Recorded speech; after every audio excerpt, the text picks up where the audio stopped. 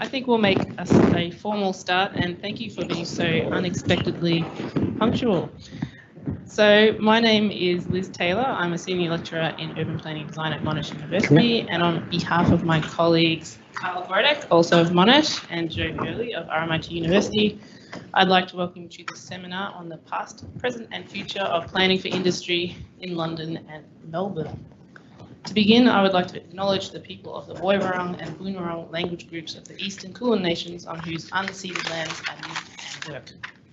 I respectfully acknowledge their ancestors and elders. I extend that acknowledgement to the traditional custodians and their ancestors of the lands and waters across Australia. And in terms of today's topic, I reflect on how categories of land, water, industry and planning have all been deployed and often extractively and capriciously in the interests of global empire and economy. I suggest today we reflect critically on how our spatial tools have been inherited in often from this settler colonial project and are used on unceded lands, which have been occupied for far longer than the relatively recent urban history that we will be discussing today. So why look at urban manufacturing and industrial land and from a planning point of view? For many of us working in planning for the last few decades since the restructuring of the 1970s, we're accustomed to industry being something of a a secondary concern to housing and finance markets. Framed by deindustrialisation and post-industrial narratives, industrial land has often been thought of in terms of redundancy and redevelopment opportunities.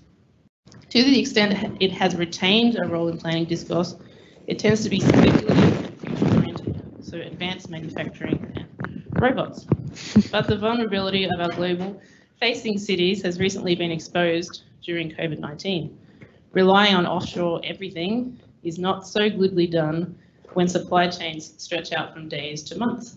And we'll hear today about how for many small businesses, there's a renewed value placed on onshore manufacturing and supply chains. COVID-19 highlighted supply chain vulnerability, but also more broadly, the urgent need to address the lack of climate resilient industries and workforce inequalities in Australia. Zoning and planning that supports urban manufacturing may offer new opportunities to promote sustainable development that addresses these challenges. So we'll be talking today about the need for industrial areas, just starting from that basic premise, arguing that industrial land plays a critical part in the contemporary city, even if who and what that entails changes over time. And as a side note, my, my mind automatically goes to music with all topics, so Later, I'll have a pop quiz on your favourite song about a post-industrial city, partly because as industry changes and moves out, it's often occupied by uh, creative industries. We're also talking about the diversity of industrial areas in terms of their location, the size, sector, employees and interactions they have with the planning system. While large-scale logistics operations, our Amazons and beyond, on the urban fringe are definitely part of the industrial landscape, they're not the full spectrum. Through our research, we explore the other miscellaneous yet persistent sides of industrial land that tend to be most overlooked. And we'll be speaking about planning, how to navigate conflict and change around industrial uses.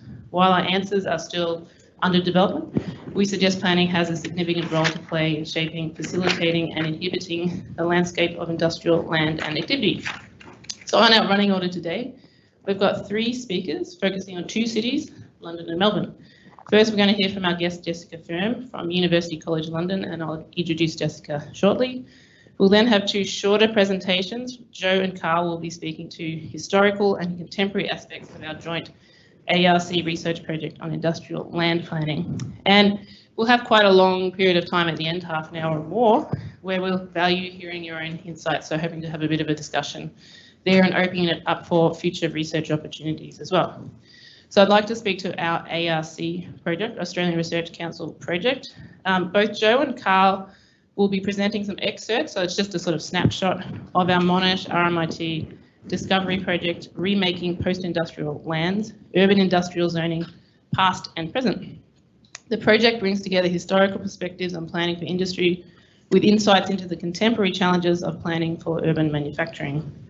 One of the reasons we take a historical approach, apart from the fact that it's just interesting, is the availability of new techniques and data sources made possible by advances in GIS and basically digitized historical resources. Looking back over the 20th century, we're interested in charting the longer run influence and legacy of planning logics such as land use zoning. Zoning approaches emphasising land use separation and the suburbanisation of industry were shaped partly as a response to the deleterious effects of early industrialisation, but their longer term legacy is, is less understood. In today's seminar, Joe will focus on our work looking at the establishment of comprehensive zoning in Melbourne in the mid 20th century, the timeframes in which urban restructuring and the footprints of those policies were seen, and its legacies for planning in subsequent decades. Carl will be speaking to our ongoing contemporary work, drawing from an extensive program of interviews with a range of industrial businesses in Melbourne. We're interested in how existing and emerging urban industrial activities are shaped by the interactions with the planning system. So some of the questions we're asking, to what extent are our approaches to industrial land merely fitted in in leftover or fringe spaces with potentially outdated mechanisms that might stifle innovation and change, even if they protect industrial areas? What are the planning policy settings, settings needed to best support industrial activity and growth in ways that support the city, provide equitable jobs and economic activity, work with other aspects of city life and work to support urban sustainability. So actually fitting industry into strategic planning rather than often being in an aside. And at this point, I'd like to flag that the project is still underway and these questions, we're working through them and the next phase of our work is speaking with planning and related policy professionals like many of yourselves, as well as welcoming your contribution to the discussion at the end of today. I'd like to extend an invitation to participate as an interview interviewee in our research. There's a little informal sign up sheet there floating around, or you can get in contact with Joe Carl or myself for further information because we're really, at the moment, some of our research is a bit kind of perhaps skewed to the views of businesses. So if you're feeling a kind of like, no, no, no, participate in our research and get your perspectives across. So our first speaker is our guest, Jessica Ferm, who is Associate Professor at the Bartlett School of Planning at University College London. And we're excited to have her here. I'd point you towards Jessica's publication record which has been invaluable to us as a resource in research and in teaching. Jessica's primary area of current research activity explores the relationship between planning, development, and the ability of diverse and lower value economic activities to thrive in cities.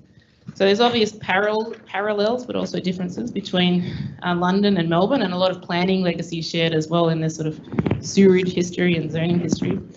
Um, I guess more to the point now, they're both large global cities which navigate the pressures of real estate markets and real estate speculation. Cities around the globe are now looking at ways to plan for industry by reintegrating production into denser mixed industry areas.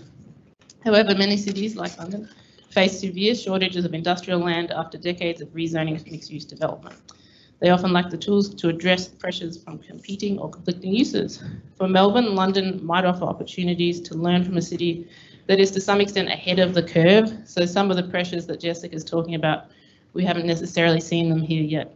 There's new industries, new pressures and new planning approaches that Jessica will speak to. Uh, Jessica will now share her recent research on the changing industrial landscape and emerging pressures for, ta-da, hyper competitive industrial markets, industrial land policy across London, focusing as well on the role of planners. Um, welcome, Jessica.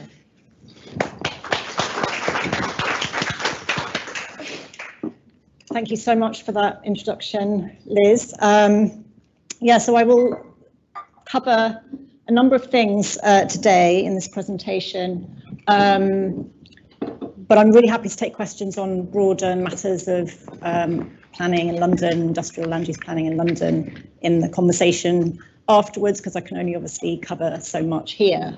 Um, so first of all, I will uh, look at just introduce you to London's industrial land use policy, not um, historic past, but recent past, and then the most recent changes in 2021 in the uh, latest London plan.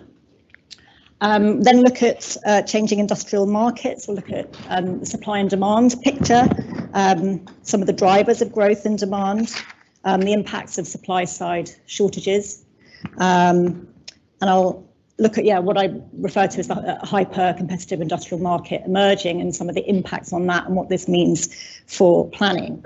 Um, yeah, so thinking about planning and drawing in some of the views that some of the insights I've gained through working with um, local authority planning and other sort of economic development and regeneration offices as well in London.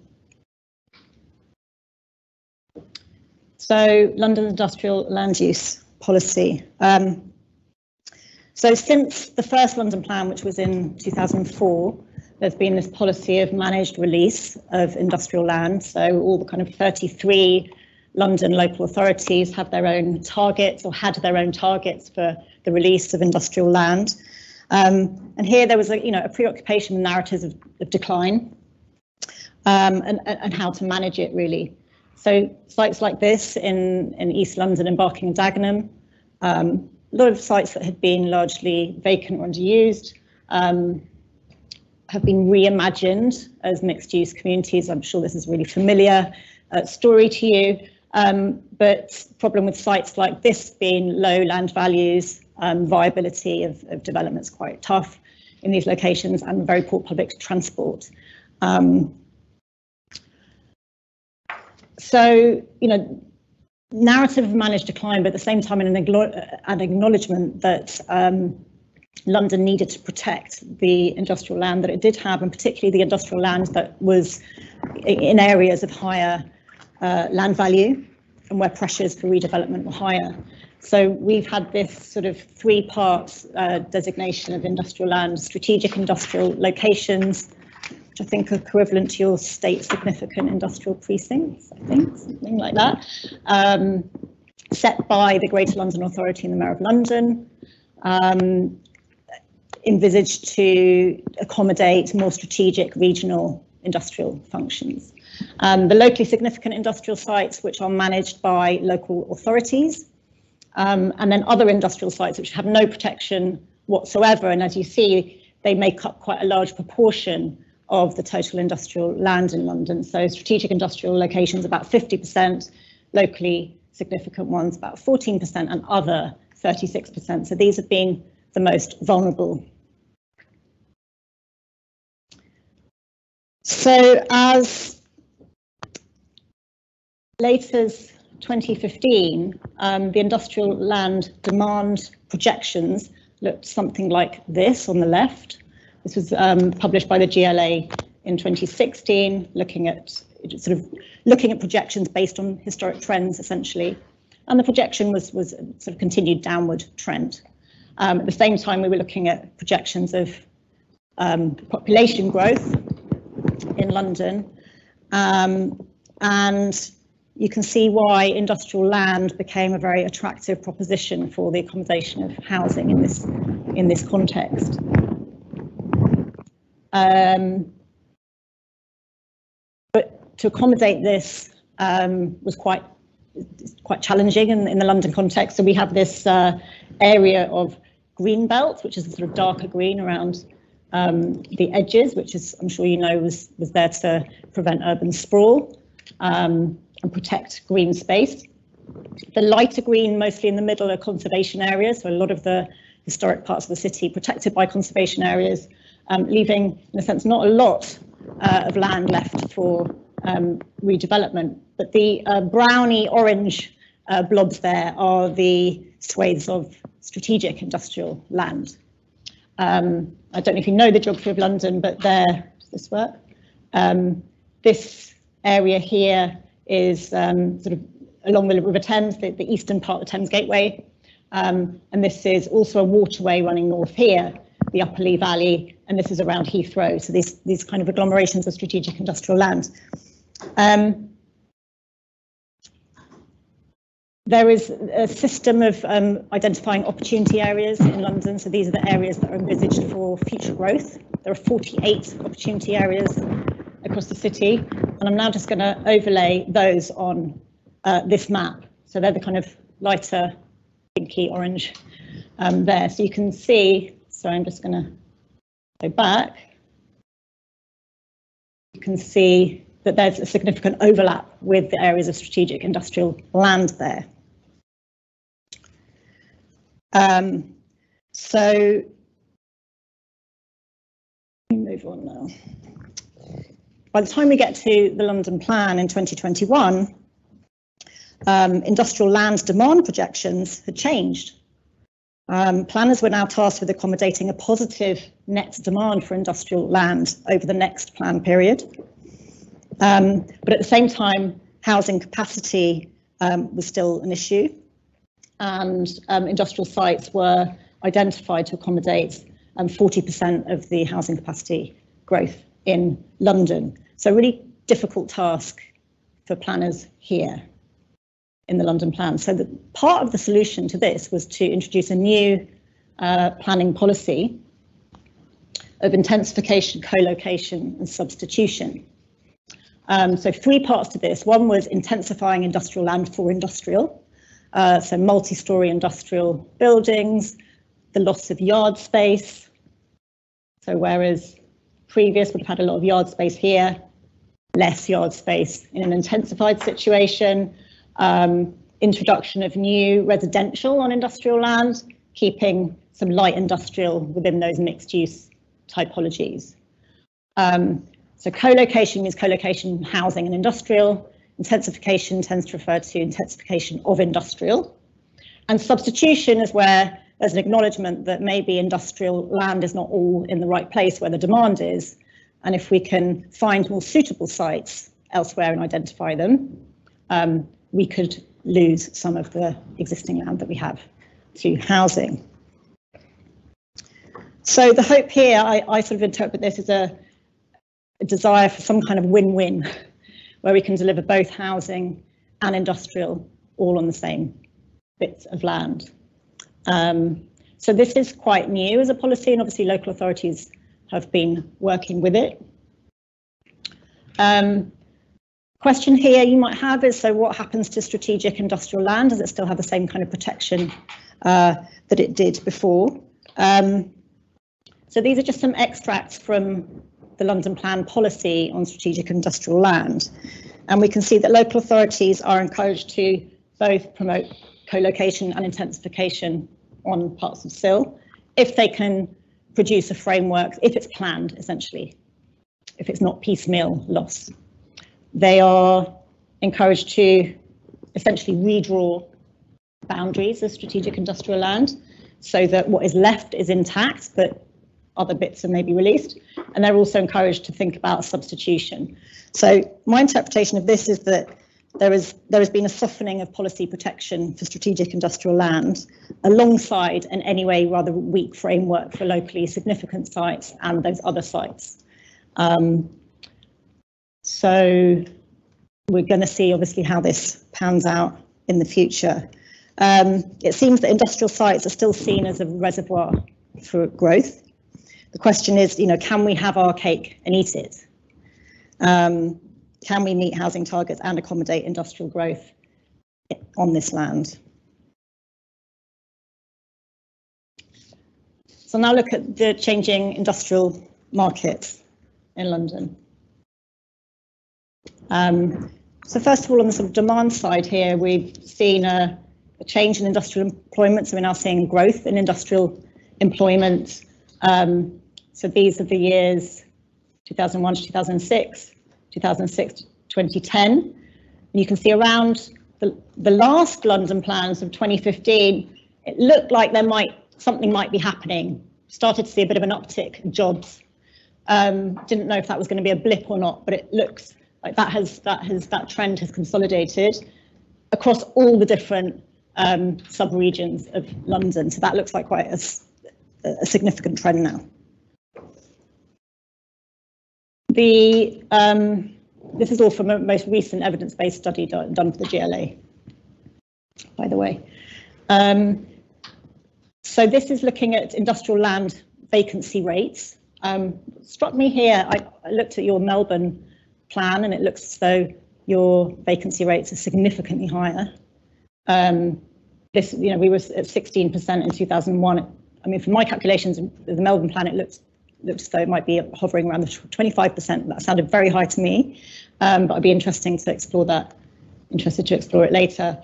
Um, but as you see, uh, we've seen a falling um, vacancy rate. So it's now hovering now above the frictional level, which is the level that's considered sort of good for a healthy sort of churn of businesses on, on, on these sites. Um, So suggesting there's a healthy demand and a growing demand. But the loss of industrial land supply continues. Um, so again, our figures are very much lower than Melbourne. I think you've got 26,000 or so hectares of industrial space. In 2001, we only had just over 8,000. Um, we've lost about 18% of that, so it's now uh, just below 7,000 hectares.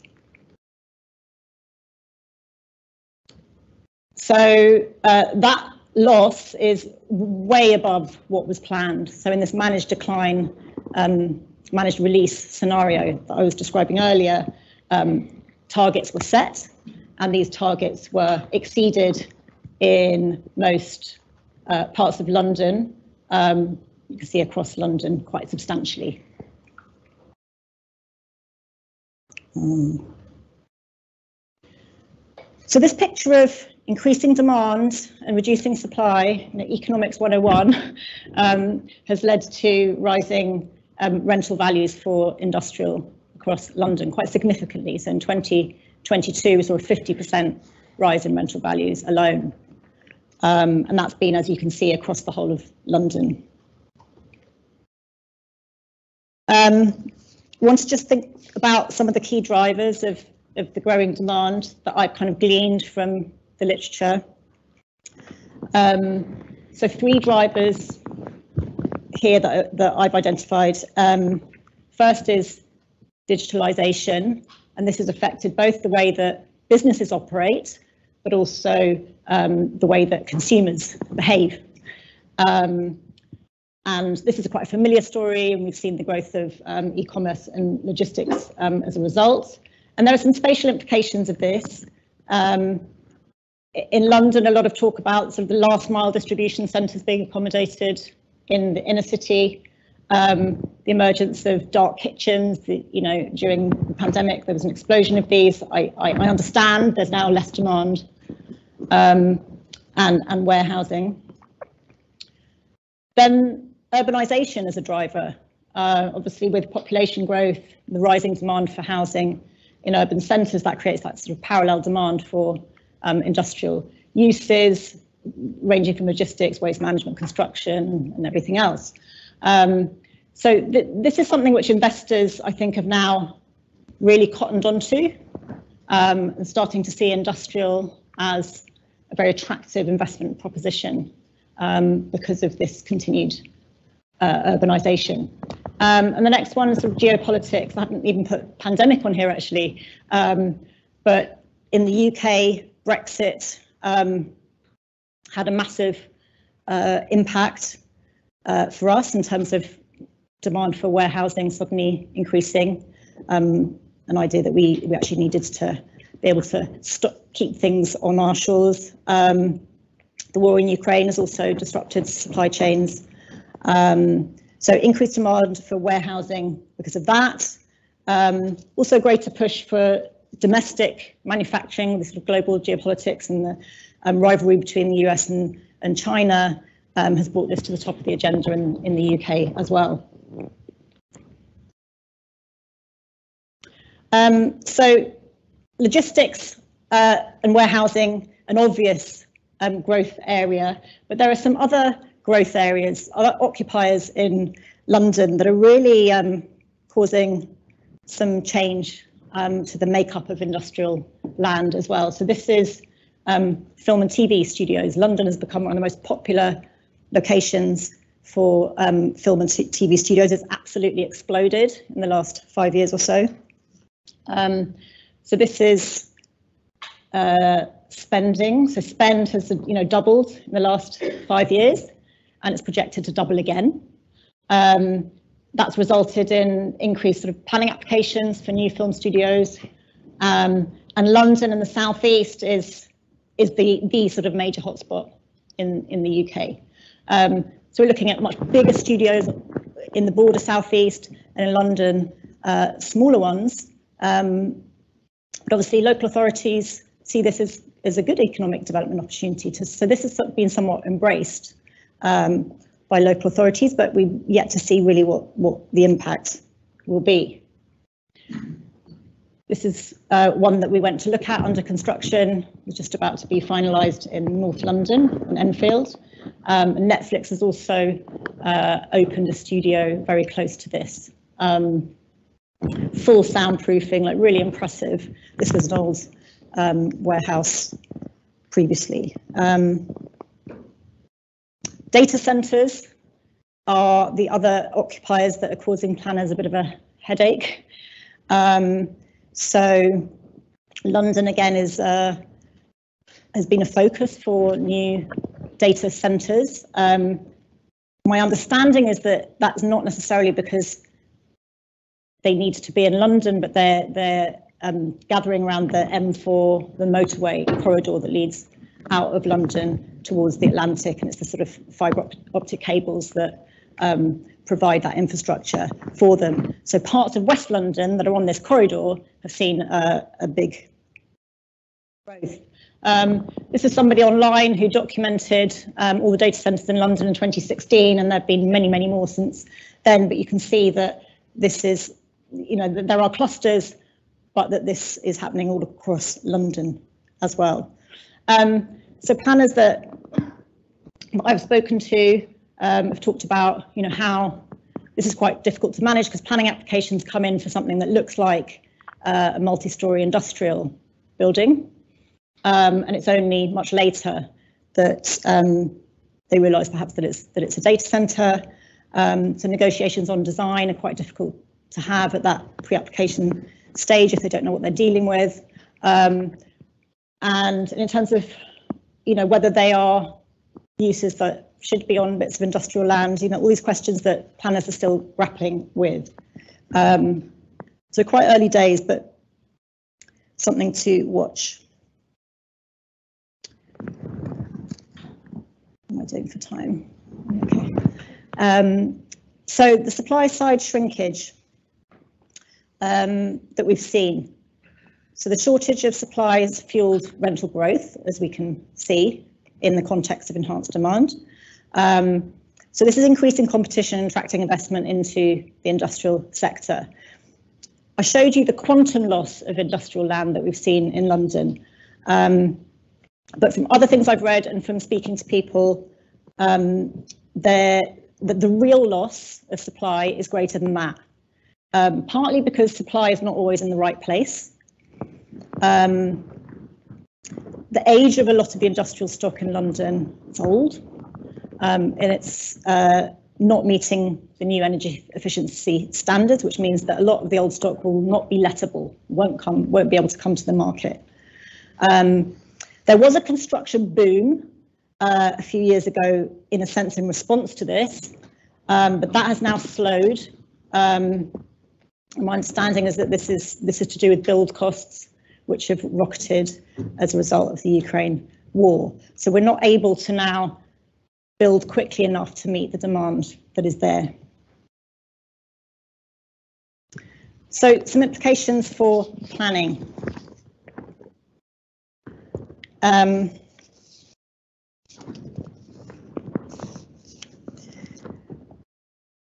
so the greater investor interest in industrial means that um, many sites are now flipping um, from residential to industrial. Industrial uh, is easier to deliver than a lot of these complex mixed use developments. Um, as I said, it's now seen as a rather safe investment um, opportunity. So in 2022, Savills estimated that 9% of the total residential pipeline coming forward in London could be at risk of becoming industrial, with a potential loss of 130,000 residential units. So there's always this sort of balancing act going on in London between the residential and the industrial. Um, and this would have quite a significant impact on delivery of housing targets. Uh, so I looked at a couple of case studies of where this is happening um, in real time. Um, so a couple of opportunity areas. Remember I said that there were 48 opportunity areas in London. Um, so one of those is in West London, a place called Southall, which is where there's a high concentration of South Asian, the South Asian community. Um, it's close to Heathrow, so historically uh, was a place where there was lots of industry. Um, but it's also the location of the new east-west uh, Elizabeth line, which is sort of high-speed rail linking east and west London. So this was seen as a perfect location for uh, intensification of, of housing and, and a new, reimagined as a new mixed-use community with a lot of high-density development. Um, site number six here was identified as uh, uh, mixed use, sort of emerging master plans at the time of the publication of this framework, which was, I think, in 2014. Um, a planning application was submitted for one of those sites. It was a, um, a factory of cereal, Honey Monster factory, uh, sort of sugar puff type cereal. um, and this site came forward and was was reimagined as a mixed use site, quite sort of high density. Planning application went in, which was approved. Um, nothing happened. Um, and then the next thing Ealing Council knew um, was that it was flipped. It was going to be transformed now into one of London's largest logistics developments. Um, and this is now what the new uh, application looks like. So uh, back to sort of single story low density um, sheds on this site. Um, much less high risk um, and values are so high now that that's really attractive proposition. So the question is, I can't tell you, I can't give you an answer to this, but the question is, you know, how how common is this now across London? How much is this happening? We don't know. Um, however, looking at one of the other opportunity areas, um, I got some anecdotal evidence uh, that British Land had purchased two sites here, which had also been given uh, planning permission for residential. And they are now, there is a consultation with the local community on these um, sites for last mile log logistics. So two hubs within sort of close proximity to each other coming forward for logistics on those sites. Now, um, locally, this is seen as quite a good thing in that it's a sort of way of protecting the industrial land so that, you know, local businesses were really concerned that the opportunity area was going to lead to decimation really of industrial land in this area and a lot of local businesses having to move. Um, so in a sense, this has slowed that process down. Um, but lots of interesting questions that emerge from this. Um, so I'm now just going to end with some views from local authority officers working in uh, the various local authorities across London. Um, some of them are planning officers, some are economic development regeneration officers, but all have come together under this um, network, the Industrious London Officer Network, really sort of, you know, it's like a geek network for people interested in industrial land, and that was all of us going on a site visit to Barking and Dagenham recently. Um, so it's a kind of forum for sharing ideas and practice. Um, so some insights gleaned from my participation in that and attending those meetings over the last year or so. Um, so thinking about that London plan policy, um, co-location intensification, uh, how is it being perceived on the ground? Um, so first of all, a concern that in order to be compatible with residential, um, the space that's coming forward, um, is it really real industrial space? Is it really designed to accommodate um, industrial users or is it uh, likely to come forward as space for creative industries or others or local Tesco, Metro? um, so uh, a worry that this this might not deliver real industrial space. And then also a concern that, you know, once you introduce housing into the mix, it creates a permanence um, and could undermine the need for flexibility on industrial land to, to respond to future trends. So we can see, you know, we don't really know where things are go, going to go in the future. We don't know what sort of space we're necessarily going to need. Um, so a concern that, that there's a compromise um, going on that, that could, could be problematic. So the next concern is, is around sort of loss of workspace diversity. Um, acknowledging that it's becoming difficult to protect the diversity that is there already. Um, so the tools that planners have had are kind of weakened or have weakened over time. Um, but very difficult to recreate the kind of diversity we see across uh, industrial sites in new development. Um, so, you know, how do we make sure that we can really, you know, we can create spaces in the future that all different types of businesses can use? Uh, real concern. A lot of discussion as well around the sites that are available and are they um, suitable for meeting the demand that's out there. Um, so site availability is a huge issue. Um, so local authorities know that there's a lot of demand for X, Y, and Z, but um, they can't always find the sites uh, to accommodate that. Um, existing industrial sites are, are in demand uh, for housing often. Securing new sites for industrial where demand is is difficult. I'm sure it's the same in Melbourne. You know, if you don't protect what is there, it's very difficult to establish new uh, industrial land. It's never the most, uh, it's never the land use that's most um, popular locally. Um, there's an issue of fragmented land ownership, um, long leaseholds, lots of small plots.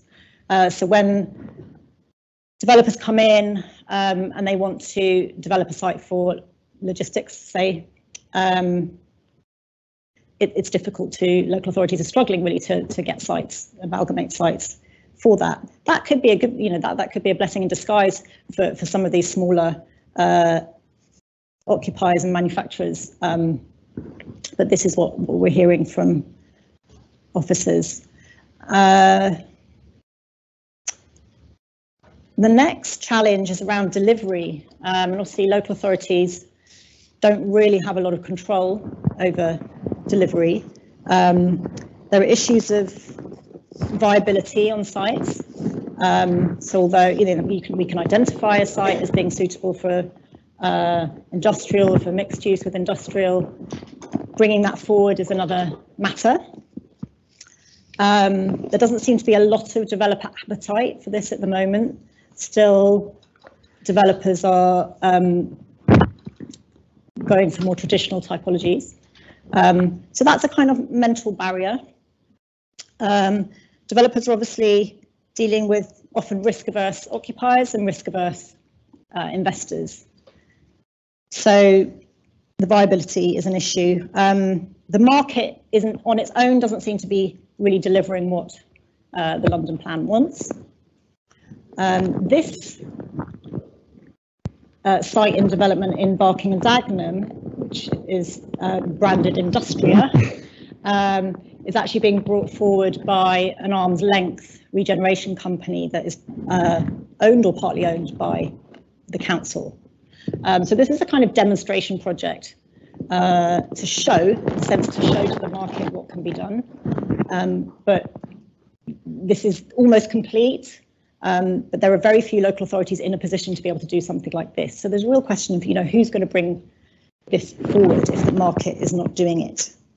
Um, the other concern around delivery is design. So some of these planning officers are, you know, working on the urban design side, trying to get high quality design into their boroughs. And I think often the the mixed use schemes that were coming forward through opportunity areas were seen as a way to achieve good placemaking um, in those boroughs.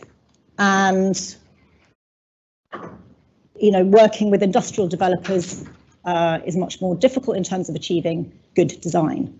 Um, less of a consensus to what good design kind of means when it comes to industrial and often um, very practical concerns that are driving industrial developers like around security and access and management and things like that, not really about connectivity and other softer design features.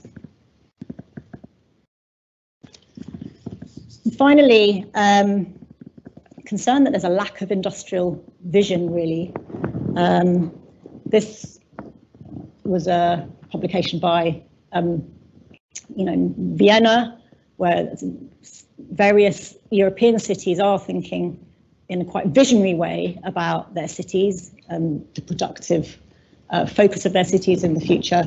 Um, this, this isn't really there in London. Um, London talks very much about the quantum of industrial land, um, doesn't really talk about where things should go, why they should go in certain places, um, how we can deliver it, and really what sort of future we want for the city. Um, so those conversations not really being had, um, either at the London or the local authority level. Some suburban boroughs are talking about the fact that we need a better balance, that we can't just bring forward these sort of dormitory suburbs. We need to have a balance between employment and residential. So those conversations are being had, but they're not really translating into anything very substantial at the moment. Um, however, the officers working on this are all very aware that there's a lot of opportunity to integrate this into the climate change sustainability agenda. Um, there are people thinking about how to integrate industrial into the sort of 20 15, 20 minute neighbourhoods. Um, an understanding that we need to think carefully about infrastructure planning, um, transport and utilities, if, if this is going to kind of work in the future. So there's kind of scope for a need for a lot of visioning, but it's not really currently happening. Um, part of the problem, I think, is that there's a political dimension to planning, of course, and although there's this bunch of very committed, excited uh, officers working in this area, uh, politicians are, are, much less up to speed currently. So, um, in conclusion, I talked about this sort of emerging hyper-competitive industrial market with strong rental growth. Um, which seems to be slowing the process of industrial displacement by residential-led uh, redevelopment or gentrification, which was the dominant story before. Um, but there are new competitive dynamics within the industrial market emerging. Um, and I would refer to this perhaps as a sort of narrowing of demand. So we're seeing sort of demand really being dominated by you know, logistics, the film studios I talked about, data centers and others. Um, and other other uses not getting so much of a look in. Um, so there's a real question now around what does this mean for uh, urban manufacturing and other smaller scale industrial occupiers and what, what is their future um, in a city like London, where, as you can see, it's such a constrained um, supply side situation. Um, and what is their future going to be? Uh, so a concern about diversity of workspaces coming forward, but also challenges for housing delivery in this context. Um, the planning system is struggling to respond. So we have these sort of, we don't really talk about zoning so much, um, but we talk about you know planning policies and um, policies there to protect bits of land. Um, but they're really there, what you know, the strategic industrial land designation is there to protect from residential um, but not really looking within the industrial market itself. So we don't really have the tools available to do much about it at the moment, um, even if we wanted to. So we have a market, you know, very market-driven planning system, um, which I know you do here too, um, and a drive towards deregulation planning, which is essentially meaning that um, you know, the move is to make it much easier to move in between all these commercial categories rather than harder. Uh, so we're not looking at a situation in the future where there's any appetite at all for breaking these categories down. Um, the appetite is really to sort of open it all up and allow, allow more of a free-for-all um, when it comes to putting in planning applications. Um, so questions uh, later, we can talk about maybe implications of all this for Melbourne um, and elsewhere. Um, and otherwise, I'll leave it there. Thank you.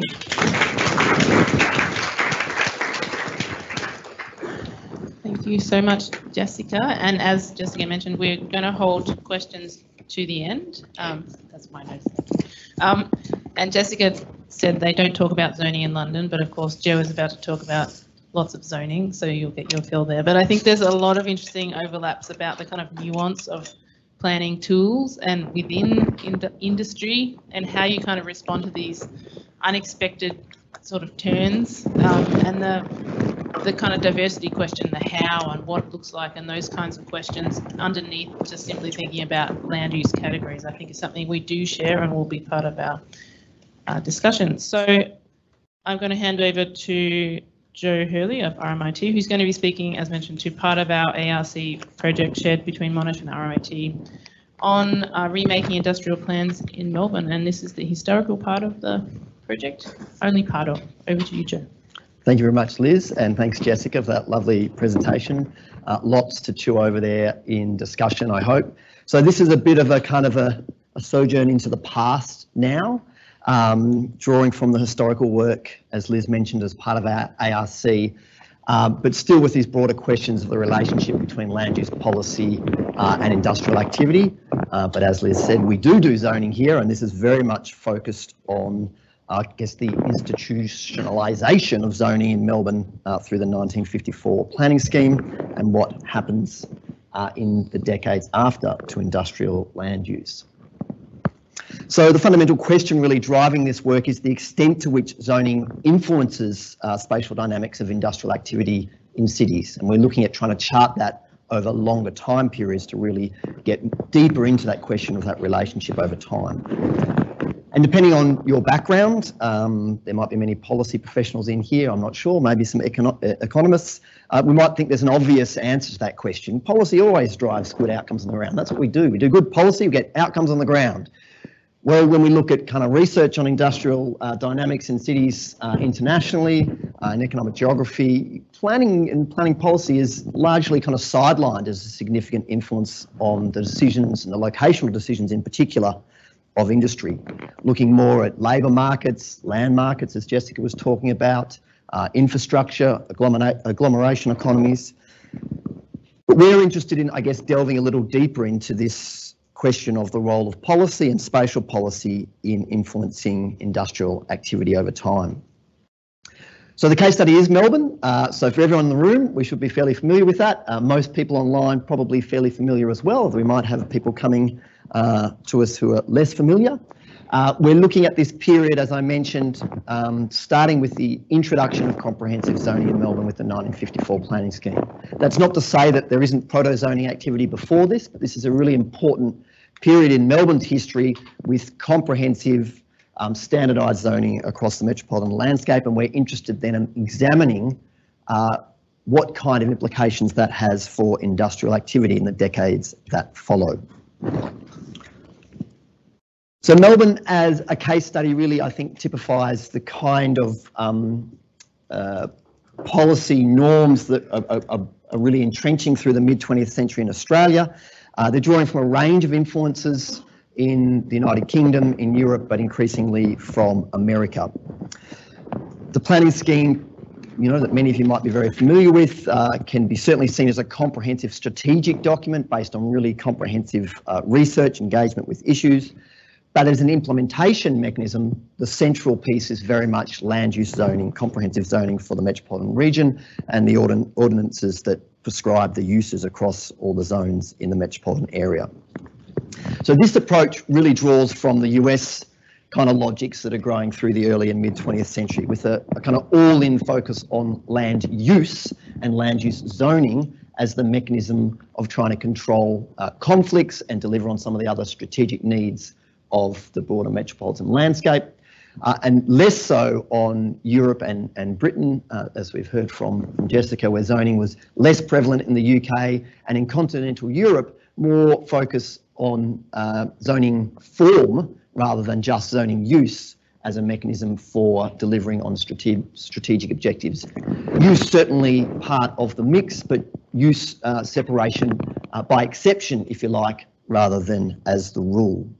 So what we see then, I guess, being uh, embedded in Australian context here, and certainly in the Melbourne uh, context for this period, is this full commitment to land use zoning, uh, and which necessarily kind of follows to the separation of uses, the demixing of uses uh, through the 20th century, and particularly with respect to industrial land uses. So very much following the American path in that sense.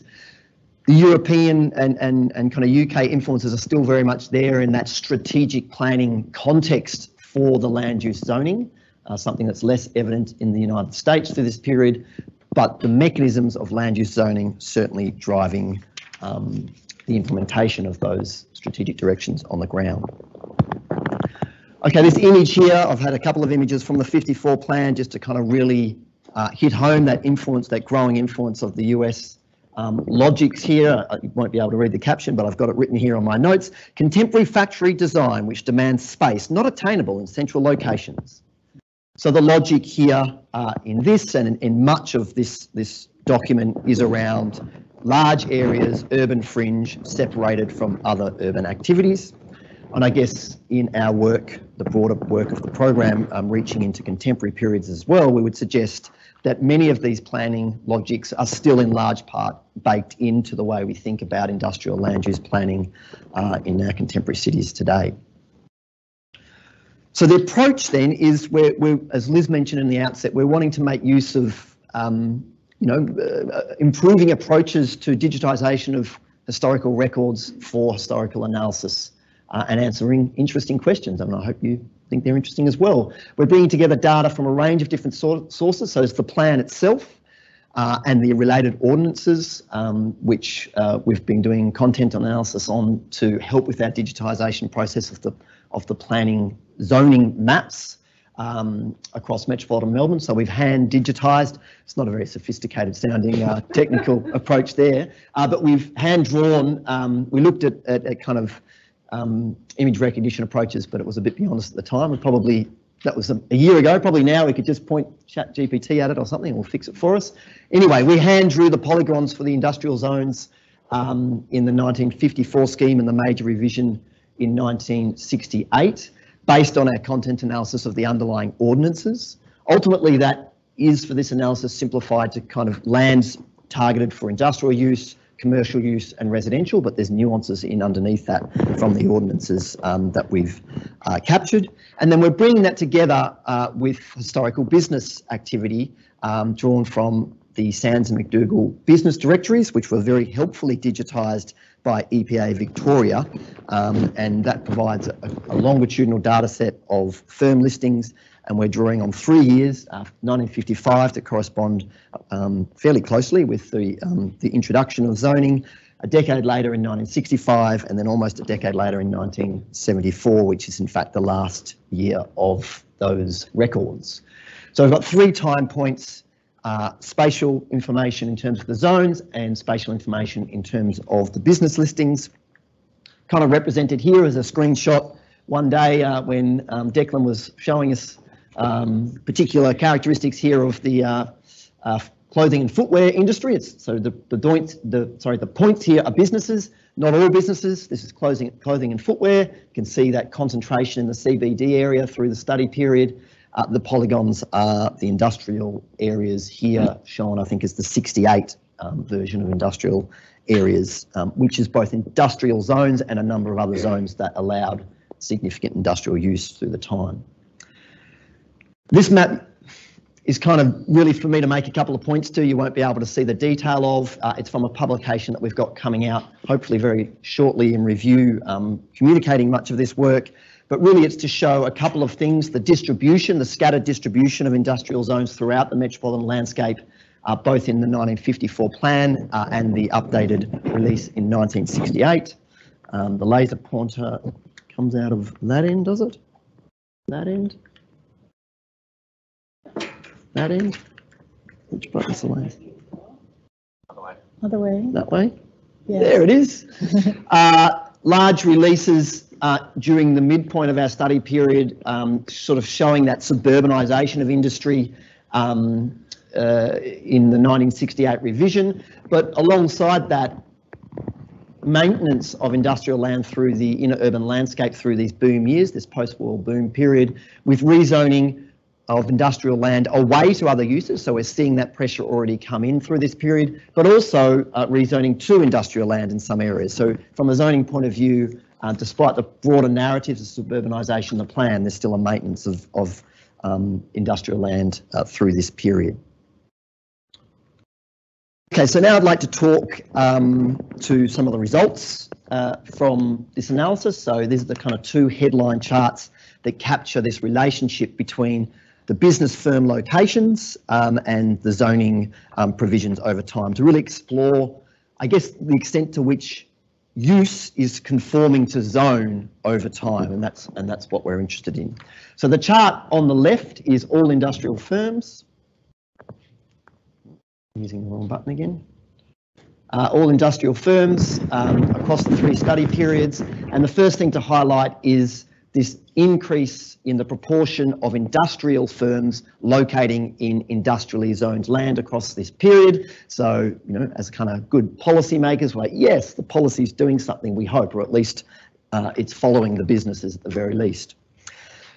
Significant increase in industrial businesses, industrial land, and then alongside that, we've got a significant increase in the proportion of industrial firms in the residential areas where they are non-conforming uses through this period. Uh, one thing to note is the lag that we observe um, in that move away from, essentially a move away from residential land uh, that we see here um, in, in the move from industrial, uh, industrial premises from residential land, which comes up a time and a time again in the data. Um, then when we look on the right, we see um, by comparison the non-industrial firms, and this is a way, I guess, to isolate whether or not this is just a broader move across the economy um, or whether this is a phenomenon, phenomenon, phenomenon sorry, uh, of uh, industrial activity. And when we look at other firms in industrial zones, we don't see this rise. So it confirms that, you know, this really is uh, a phenom phenomenon that we're seeing in industrial land with industrial businesses. Again, we see um, this switch between commercial land uses moving more to commercially zoned land and away from residential, but again, this kind of delay in this um, across the two decades that we're looking at this material. So I guess together in combination, they the results here confirm a significant conformance over time of industrial activity to industrial zone but they also suggest that the zoning mechanism uh, is acting as a fairly weak push mechanism in terms of moving non-conforming uses out of residential areas. And this is certainly tied up with um, the existing use rights that were um, presented through the 1954 scheme and continue to be a significant part of planning uh, and zoning regulation today. Another question we are interested in is this question of uh, suburbanisation and deindustrialisation uh, in inner urban areas uh, in these post uh, war boom decades, the extent to which this conformance of industry to industry zone is really tied up in a movement of industry to the outer, sorry, the outer areas of the city. So we've got two charts here that split up um, the geography of the city into inner areas and outer areas. So firstly, on uh, the left here, we've got the outer areas. Again, this conformance to zone over time uh, that's noted, but if I've got the absolute numbers down the bottom here, we can see the significant growth in overall industrial businesses through this period in the outer areas of the city at the time, uh, and indeed the, the, significant growth in industrial zoned land. So we are certainly seeing significant suburbanisation of industry, growth of, of industry in the suburban areas across this period. What's interesting, however, is when we look at the inner area, um, we don't see the kind of narrative of deindustrialisation and decline playing out in the data in this two-decade period in the kind of the post-war boom. Uh, the data does end in mid-1970s, and we're trying to gather other data sources to look beyond this, but certainly the kind of accepted norms even through this period is there's a, beginnings of significant deindustrialisation. The numbers of industrial businesses stays relatively consistent through this time in absolute terms. But within that, we see a significant concentration into the industrial, industrially zoned areas and a move out of the residential areas as well. So it's not just a kind of static environment here. There is a churn of businesses relocating, closing down, opening up. That suggests a very vibrant um, industrial economy um, in the in areas through the two decades of the study period. So in combination, again, the results yes, they show this suburbanisation of industry, but not a kind of corresponding deindustrialisation of the inner urban area, but rather a persistence of that over time. So I'll wrap up with a few kind of concluding comments before handing over to Carl, who's going to bring us back into the contemporary setting. First to note that, uh, you know, we've got a historical data set that we think is really interesting here, leveraging off the work of EPA Victoria uh, and bringing the digitised zoning information to this. Uh, there's a lot of interesting questions that we could point this at, and we're certainly interested in conversations about that with anyone in the room uh, if, if you're interested or see research potential. In terms of the results, the kind of key things I want to highlight is that we're definitely seeing in our analysis significant conformance to the zoning mechanisms that are introduced comprehensively in 1954 over this two decade period and particularly with industrial land across this period. They reveal and confirm that kind of narrative of um, suburbanisation, dramatic suburbanisation growth, growth of industry in the suburbs, and within that growth largely in industrially zoned land but also the persistence of industrial activity and a, and a persistent um, you know, dynamism in industrial activity within inner urban areas, which is kind of counter to elements of the dominant narrative of suburbanisation and deindustrialisation. At the very least, it unsettles that narrative um, to some useful extent, I think.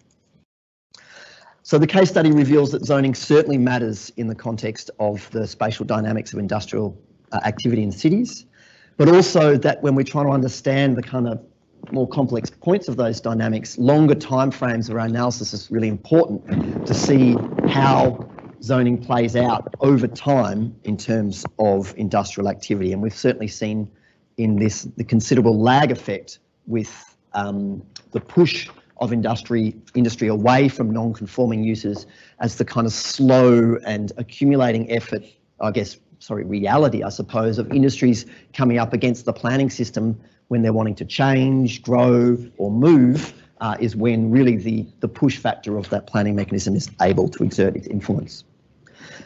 So to segue to the contemporary work, um, and I guess to riff off um, many of Jessica's points, um, questions about whether the policy settings we have today are working effectively to, to support and to understand that dynamic of industrial activity in our cities, whether we're working to um, support innovation, to support new business development, uh, while also protecting the common goods of the city, or are we being constrained by kind of entrenched norms of use separation, of decentralisation, and notions of the inevitability of industrial decline, which, as Jessica pointed out, are you know only a few years put in the bin in London, and I still think they're hanging around in many of the narratives around industry in the city here in Melbourne.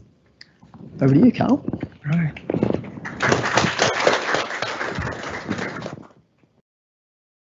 Thanks, Joe. Um, well, thanks everybody for coming out on a wet day. Good to see um, old friends, some new faces here. I'm going to talk about some work we've been doing that um, is wrapping up uh, for a special issue of the journal Urban Planning um, that is looking at sustainable manufacturing. And um, so the focus of the talk is looking at how planning regulations um, might influence that potential for sustainability in manufacturing operations. And I think from a planning perspective, it's important to talk about this. We spent a lot of time thinking about residential environments, um, about active and multimodal transportation. When we think of sustainability, we don't think too much about sustainable production lands. So we want to add that to the conversation. And there's a lot you could do here. One, you know, things I'm not going to get into is industrial sprawl. That's something I could talk about, um, as well as some uh, of the focus on innovative um, technology for manufacturing production for um, net zero emissions. And for example, I'm not going to get into that. This is more about the, regu the relationship between the regulatory environment and manufacturers. Um, and in the process, we'll get at one of the big themes of the work that we've been doing is the challenges um, around planning and zoning for what is a very diverse set of urban manufacturers, often small manufacturers. Um, and, and I'll be doing this through interview um, outcomes with food and beverage manufacturers in Melbourne. And all of this work, as well as some other um, research we've been doing that I'm not talking about today, is going to feed forward um, to inform the final stage of the ARC project, which is talking to planners talking to policymakers about their views, their perspectives on, on the relationship between manufacturing and industrial land, um, and, and take it forward. And today what I'm talking is very much a firm-centric um, approach, and I'm not ashamed to say that. I think we can learn a lot here um, from that situation. As a starting point, I think industrial lands in terms of this kind of sustainable urban planning um, discussion that's going on for decades, industrial lands tends to be left out of that, that picture. Um, what Joe was talking about and that established logic around use separation and amenity impact is, I think, largely today how we continue to plan around industrial lands. Um, the sort of narratives and visions have tended towards advanced manufacturing increasingly that kind of shifts that larger kind of strategic policy framework. But when um, we're actually talking about planning on the ground, we're still, people have, I mean, I think often a very traditional view of industrial land. It's large lot, outer suburban space for logistics and warehouse uh, activity, need good transport access. Um, and these are, you know, typically low employment density, low cost, um, high impact um, firms. But, there, but, there's so much more out there um, to consider. When we have looked at industrial lands as part of a sustainable planning um, agenda, it's usually as a source of redevelopment. So we look at industrial lands as an opportunity for rezoning towards transit-oriented mixed-use development, which certainly brings uh, important benefits to cities, but at the same time, it has some drawbacks. It, it often engenders speculative development. Research shows it's associated with declining affordability as pre-existing residents and businesses are displaced from these areas. And that in turn reduces um, the often rich land use and employment mix that exists on industrial lands. And for my purposes today, like the big question here around industrial rezoning is, is that it harms many of the small specialized manufacturers that actually need to be in cities because of their functional requirements. So this is this could be you know small biotech, some other kind of um, advanced um, manufacturing operation, that use digital production techniques, could be a very um, hands-on craft manufacturing. It could be essential services and support um, that, that are needed um, to just make a city function, ranging from food production that I'll talk about to um, recycling, waste remediation. Um, certain types of manufacturing industrial activity have to be in cities, and that's why they're here. And it's important to have the right land in the right sort of place, like Jessica was alluding to. Um, and we know a lot about why, especially like high tech and small craft manufacturing activities. We know why they locate and why they cluster. We know about agglomeration economies. Um, but we haven't really looked at how those features might translate into sustainable development outcomes or sustainable production. Um, I've, I've done recent work a couple years ago that looked at comparing industrial zones to other targeted uh, employment areas in Melbourne, and we were able to show just through descriptive statistics the association with quality employment with a really diverse range of industries and occupations. Uh, and this is really important when you think about economic resilience, because if most cities like Melbourne are based around a very high wage, high skill, and low wage, low skill service economy, industrial lands support those businesses that are filling in the middle and, and help speak to that resilience. There's also opportunity to think about the way manufacturing is changing, the type of manufacturing that actually can and does still exist in a lot of cities. Um, it's smaller, it's cleaner. They, um, you know, tend to use smaller building space. Um, they rely on local supply chains frequently. They draw on local markets. So this has the potential to reduce carbon footprints, and you can think about an alternative way of thinking about import substitution uh, as well. There's also potential for, for localized resource and waste flows. So sharing of resources, recycling of materials, and particularly food and beverage with, with food waste uh, as well. So these are the kind of potential things we could consider um, that come out of classic agglomeration economies. Uh, and a handful of cities are thinking through this. They're thinking about new spaces of production. Um, places have tightened up their industrial zoning regulations, basically with the idea that they can protect land to keep out competing and conflicting uses. So you could potentially have a more sustainable manufacturing operation through that agglomeration of activity. Others are taking a, a different tack and looking at more flexible zoning regimes, so targeting specific areas where there's a high um, level of discretion in terms of lot size, building heights, shared spaces, um, the ability to bring in higher retail or office ratios into a building, vertical manufacturing buildings like 150 Hooper. These are all intended to support a key aspect of the changing nature of urban manufacturing around so-called manufacturing servitization. So that means you don't just have a traditional manufacturing plant, but there's there's also some sort of service activity on site. There's a design component potentially as well. Um, in our case with food and beverage, uh, a lot of firms will have some kind of retail or consumption component on site that's part of their business model. Finally, um, there's the potential to adopt industrial symbiosis strategies, thinking through shared infrastructure and, and um, around waste and other, other activities. Um, the problem with a lot of these is a lot of it looks really good on paper, but it doesn't always address key challenges. Um, one is around amenity impact. So even small manufacturers are going to have some kind of impact around noise, smell, traffic, and so forth that needs to be addressed. Uh, and secondly, the real estate dynamics of conflicting uses. Um, there's, you know, you introduce higher paying uses, office and residential into an area, that's going to bid up the potential value of real estate. It makes it hard for lower rent manufacturing operations to stay put. At the same time, you have inter-industry gentrification is something that Jessica was was getting into um, as well where you know you have a case of a brewery or some kind of um, advanced manufacturing operation that can pay more for land is going to raise that land value um, and, and displace other producers. We wanted to get at these questions, look at that relationship between zoning and um, manufacturing, their potential for sustainability. Um, so we had 31 interviews with a wide range of food and beverage manufacturers here in Melbourne. Um, they vary in terms of year of establishment, the number of employees, their markets, their business model. So about half of them had this hybrid production um, service-based model. Um, and, and I would say largely like the voices that you're going to hear me talking about briefly are probably more balanced to the very small end and the, the hybrid production um, side. Um, simply because they're the ones who are really facing a lot of challenges with the planning system. And, it's, and I think it's interesting to think, think through this.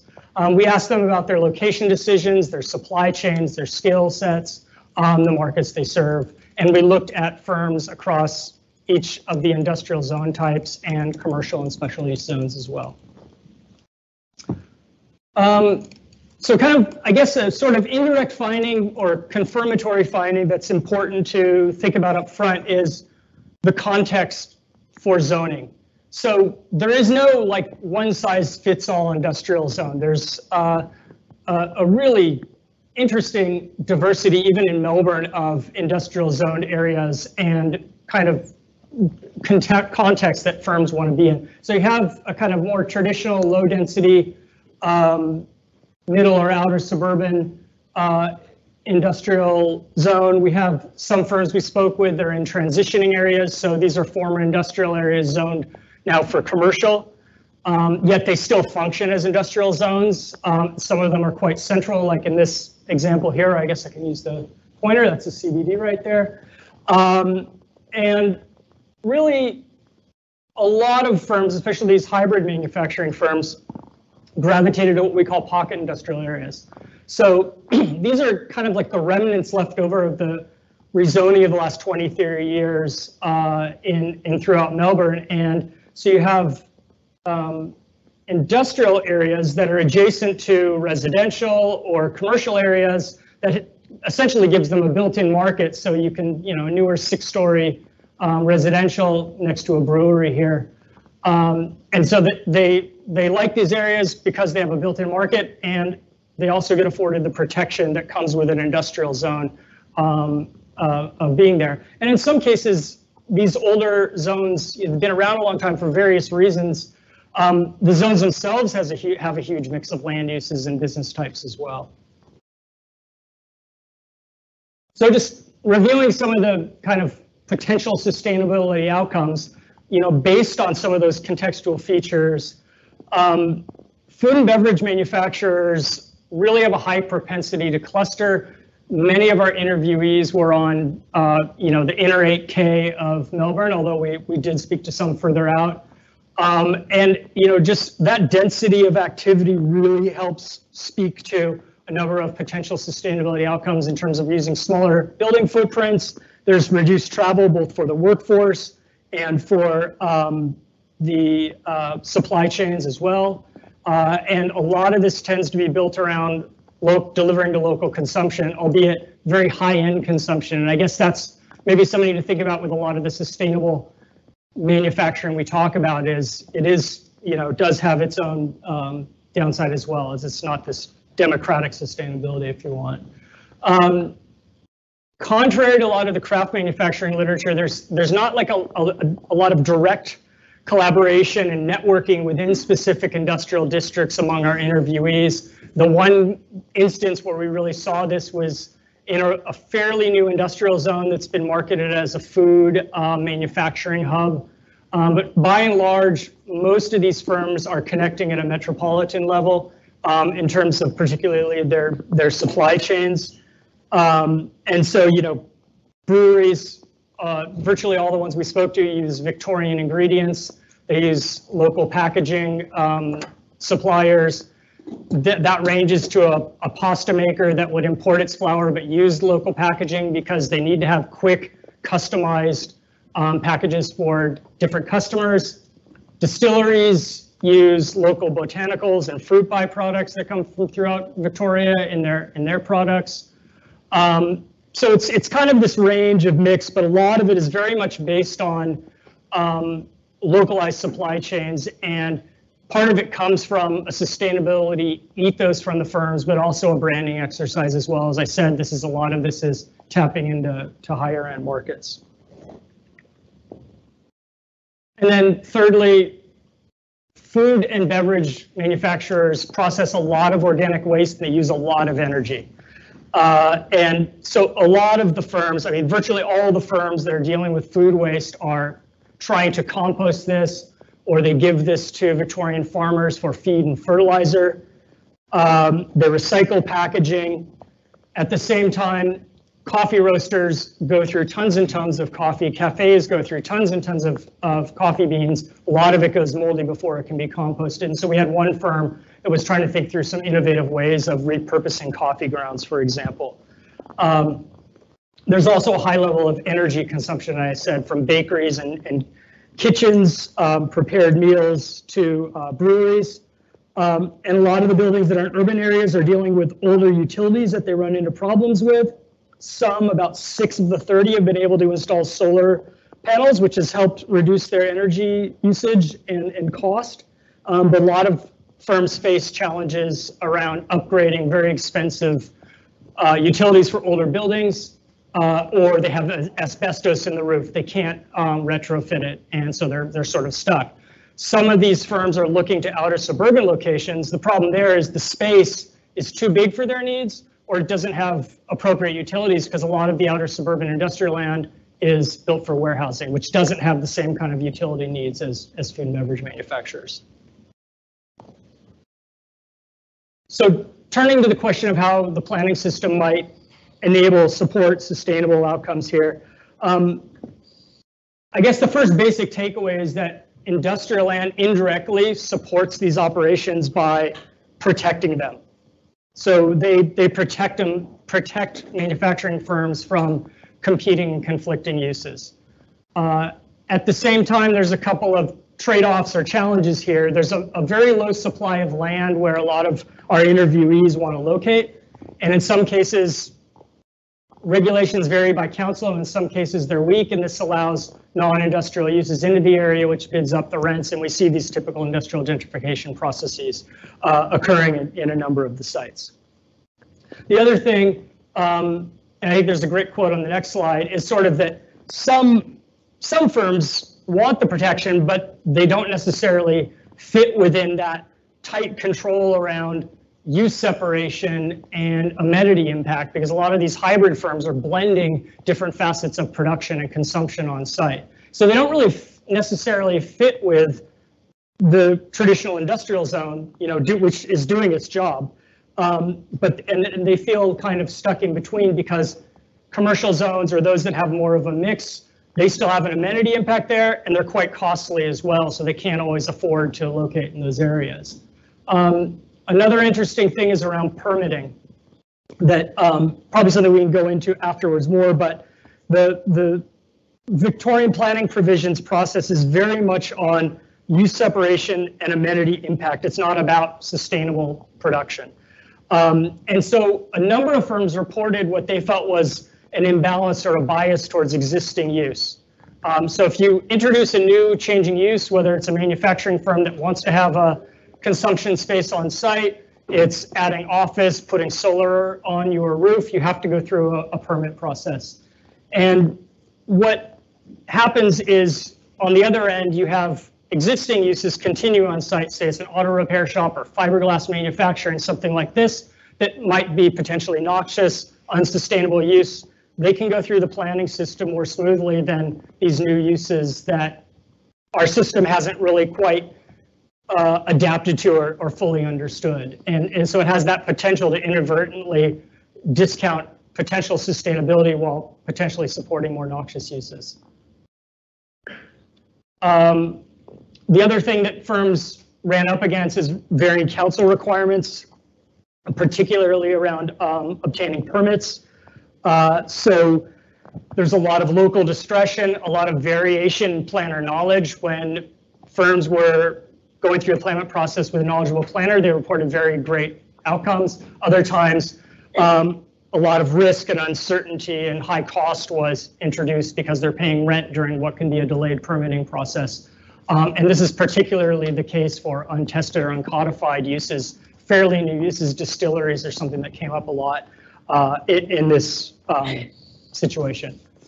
So just summing up quickly, industrial land provides this indirect sustainability resource, or at least to support the potential for um, small scale sustainable production.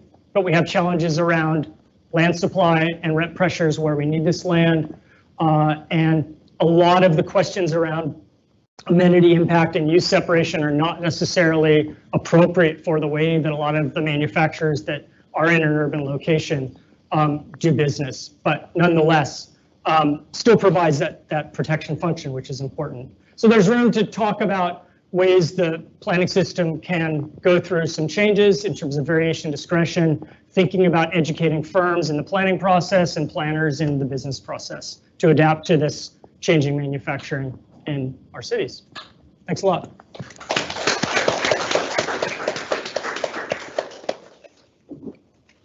There's a holding slide, Carl. Okay. Okay, so I didn't, I didn't want it to go blank. can I ask uh, Joe, Jessica, and Carl to sit on the, we had this whole discussion before about whether to sit here or over there. Do you want to sit in front of it now? Um, we'll try here. The light. Yeah, or If you wanna advance lose the light- slide one, it'll go Yeah, blank. okay, we'll lose the light. Just while I've got that up there though, if you are interested in being interviewed, talking about this research, then that's our contact details there, or we'll, we'll have other ways of staying in touch. But I'm going to turn this off so that we don't get blind, blinded by the light. Um, so we actually have quite a long time for discussion. Hopefully you're interested in that. Otherwise, we're going to um, go to go to the pub next door for a drink. Oxford Scholar, you're welcome to join us. It is not a hybrid operation, is it? No, they don't, don't manufacture beer brew Well, pubs. It's or- hybrid in that it's owned by the university, so it's university spaces plus a pub. So Yeah, go, that's but not- another not- sort of Different type of hybrid. Yeah, different type of possibility hybrid. here. Um, so I'm going to open the uh, to questions shortly, and we've got some online questions. You you look doubtful. Is that the look of? Okay, good. We've got two there. But just to begin with the obvious question, I'm going to ask Jessica. Um, having seen our work and been here for a week or whatever, is there anything that Melbourne should definitely learn from London, or vice versa, in terms of industrial land planning? I mean, I think it's what's so interesting is the you know realization that every every place really is so different, um, and seeing the scale of the kind of suburban sprawling context in Melbourne just I think makes it very very different to London. Um, so I don't I don't know the extent to which the the land pressures that we're experiencing in London, the really acute land pressures, are going to be felt here in the same way. Um, but I would have thought it, they might be felt on just expand the pockets. where it's boundary again. Yeah, but I think that, you know, if we think about, um, as Carl was alluding to there, the, the fact that, that, you know, there are businesses who, who do want and need to be in a particular location. So there will be pockets of uh, land, I would have thought, within Melbourne where the pressures are high. Um, and, and particularly, I think the last mile distribution um, demand might affect those, those types of businesses. So I think, I think there are things that, that that are worth kind of thinking about. Uh, But the scale is very different here. You know, I was amazed at the amount of industrial land Melbourne has actually in comparison. Yeah, I feel like some of the lessons that we can draw are more relate geographically specific to Mm. some extent. Like when you see Carl's photos of what industrial parks look like on the on the urban fringe of Melbourne, that is a very different form um, and use, and the pressures are different. Sydney might be more comparable to London, perhaps because it is more tightly bounded. But then when you get down to particular kinds of um, businesses and firms and their kind of space requirements, even utilities, let alone their consumers and supply chains, all that kind of stuff, it is really comparable. There just isn't. The va- and I think the vacancy rate, you could speak to that, Carl, can you? In inner inner Melbourne is much lower. I don't have exact numbers for you, but yeah, yeah. I mean, it- I was purposely trying to show that because I want to give a different picture on what industrial land is. Obviously, you know, the outer suburban areas matter and that's important as well, but it's just different. Um, and I'm just struck also by that question of employment density as well. That's a question here. I mean, it depends whether we're thinking about planning for the city and the city's needs and their need to have their meal delivered in two hours and the maximum amount of stuff from Amazon. That's one way of looking at it, and that's a kind of land-driven consideration. And then there's thinking about employment and who works and what the nature of their employment is. So they're sort of they're bound up, but they're not always the equivalent, I think. And hmm. that, that plays up there. Um, Hugh, could you, um, do you want to read one of the online questions? I'd be happy to, yes, and that's all working. Um, so it starts very nicely. Thanks, Jessica. Great presentation. Um, are the older, smaller established industrial areas in London transitioning in terms of type of industry, use of tech, attracting new industries, uh, development of clusters, etc., or are they just stagnating, declining? Oh, um, yeah, I, th- I think the answer is, you know, changing all the time. Um, so, you know, was the question about inner, inner London? I Older, think so- The older, yeah, yeah, the, the kind of the older Victorian manufacturing ring, for example, around um, the city fringe, uh, you know, has seen several waves of change uh, over the years. Um, and there's been the, the expansion of the financial district as well, so the pressures associated with that, as, as well as kind of the loft conversions and residential. Um, but it's still a very vibrant uh, commercial district, but I think more akin to the, the types of district that, that uh, Carl was talking about, the, that have transitioned to more broadly commercial, but still have some industrial uses in, in there. I'm not sure if that answers the I think that does answer the question. Um, whoever wrote that one, uh, Tony, I think uh, if you have a follow-up, please follow up. Um, I've got some more if you want, or Go to Let's go to the room here and I'll bring the microphone to you, I think. Do we have questions in here? Or concern? Yes, okay, one, two, three. I'm going to go, your face is familiar, but I can't remember who you are. so. Please introduce yourself. Hi, um, Mark Woodland from Echelon Planning. Um, my question, I've thank you, Jessica, for your presentation. Um, your work was quite an inspiration for me over the last few years um, in understanding some of the dynamics in London and thinking about whether or not we might find ourselves dealing with some of those same issues in inner Melbourne in, in the near future. So thank you for all your hard work over the last few years. Um, the London policies around intensification and mixed use. Um, I'm really interested to understand each of those. Uh, so in relation to intensification, is that a real thing that's being market driven or is it just an idea that effectively enables land to be shrunk and repurposed? And then secondly, with mixed use, I've seen some really interesting development approvals coming out of London for things like apartments above cement factories and hardware, hardware yards, timber yards and all sorts of things where you might naturally think there's an incompatibility of use. I don't know whether they- get built or not, but that idea of mixed use and its viability, if you could maybe speak to those two questions of whether the policy is real or is it just Yep. So um, it's a really good question. The the policies on intensification co-location uh, very much the idea was that if we you know create this poli- policy context, hopefully the market will respond. Um, so there wasn't much evidence of uh, an appetite for uh, intensification of industrial. Um, I think the idea was that if we, you know, if we lose enough land, then, you know, we'll we'll just force a situation where people have to do it differently. Um, but, you know, as, as I kind of hinted at, the, yeah, look, the, the public sector is having to take a little bit of a lead in terms of, you know, showing what can be done.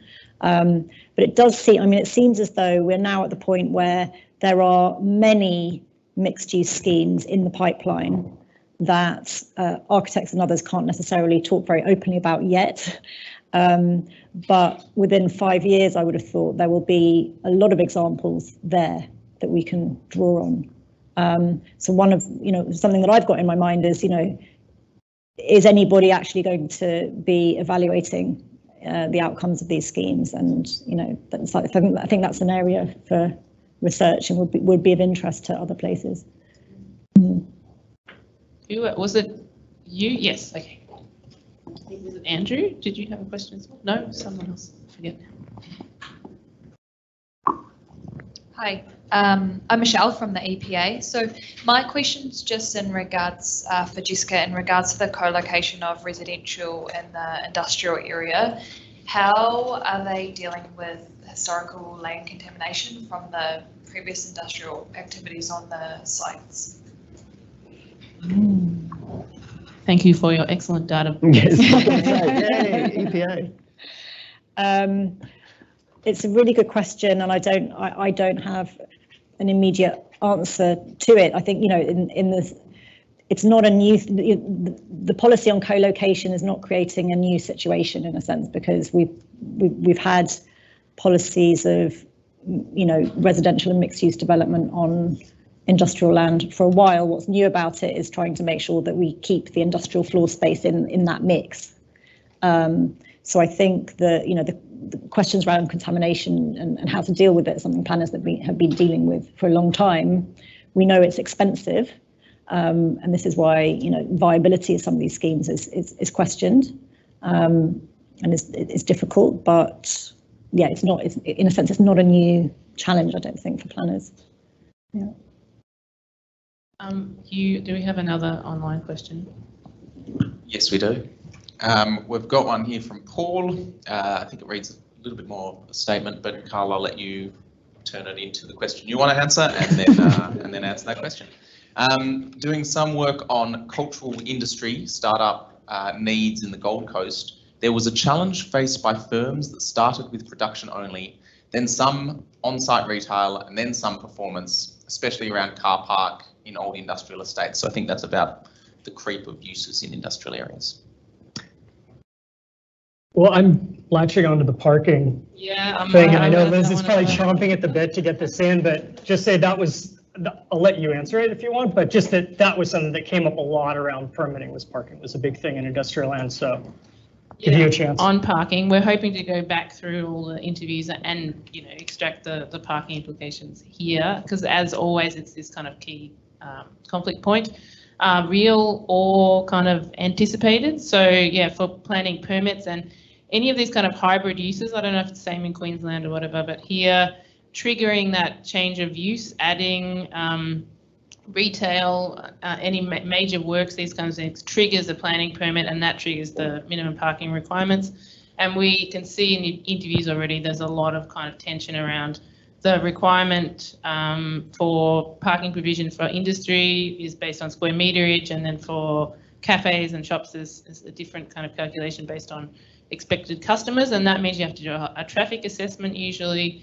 Some of the businesses aren't really in a position to do this or they find it quite intimidating or they're risk averse around it. often that means you have to provide more parking than they could possibly provide, or they can't do the um, retailing. And we also heard stuff around um, things like something I've been interested in for a while is the parking requirements seem to have started from that picture like Joe had of the the suburban lot that had the car park and then the factory. You know, like you had 100 workers in in this building, but now with much lower employment density, you don't necessarily use that much employee parking. It's more about visitors and um, trucks and things like that. So are they out of sync?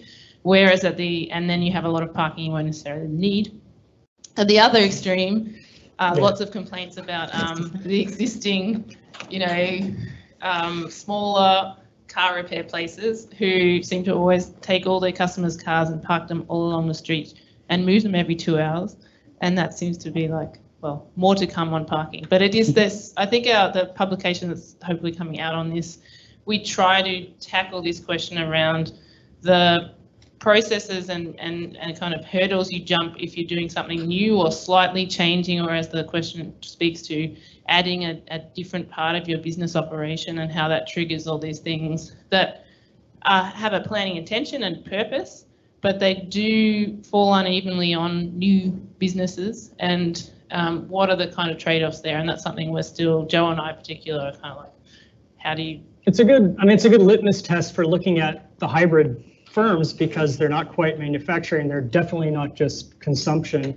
What's, you know, what's that requirement there? And I think maybe in introducing creative industries there that you could have create cultural manufacturing with a consumption element that it introduces this.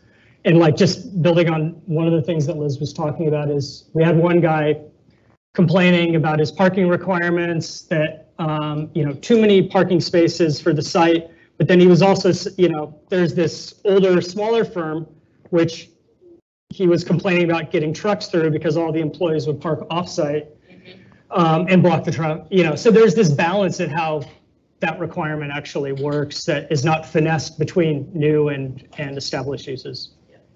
And just add one dimension, I think that, I think Paul raises an interesting point, particularly with respect to these kind of hybrid businesses around the kind of temporal nature of that business development model that might be a little different to what accepted norms of establishing business in industrial zones is, you know, that there's a, some of these businesses not really necessarily planning for the hybrid, you know, commercial, consumer-focused area, but gr- growing to an, to a point where they they realise that's going to be a, you know, a lot of opportunity for business growth, and then coming back up against a planning system that they've already navigated, but with a very different set of needs. a question here? Thank you. Paul Rankin's my name. Is that, is that on? Yeah. Uh, I work in property development and uh, live pretty close to um, the, the Montague precinct, uh, which is South Melbourne. Uh, an evolving area, but and a fascinating area. But uh, my question, which is also a bit of a statement, goes to the idea of co-location or adjacency of uses.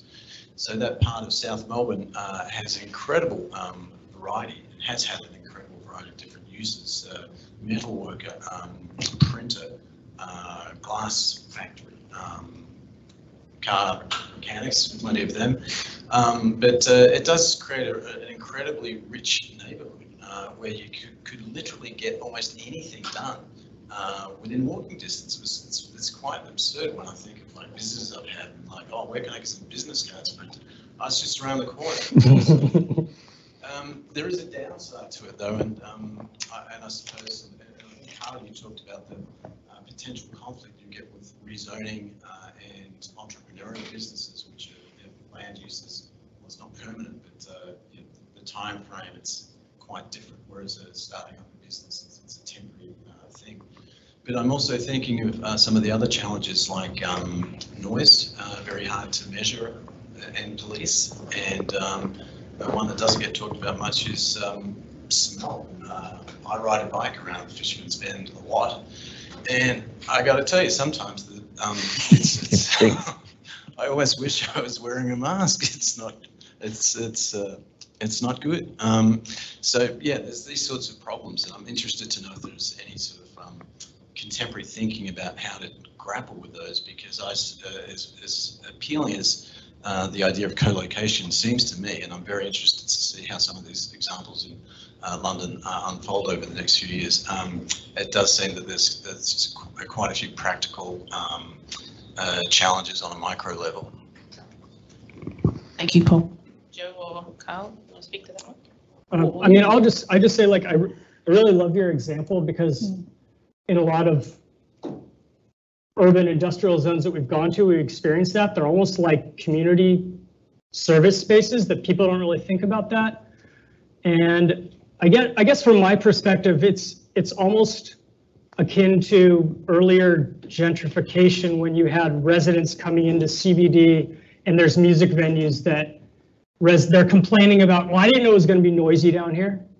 Um, and you know, they're not comfortable with the apartment in that space. And we've kind of been, you know, from a creative industries perspective, that's been an issue going on for a long time.